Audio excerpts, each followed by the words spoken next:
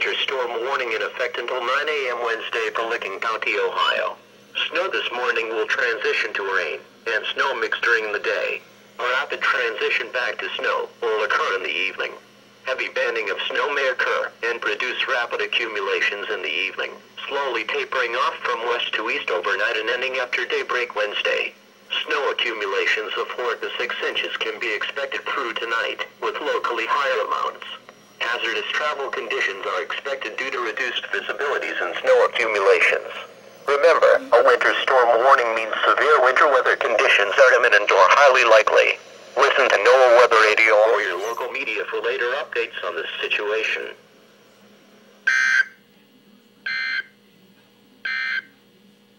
Winter storm warning.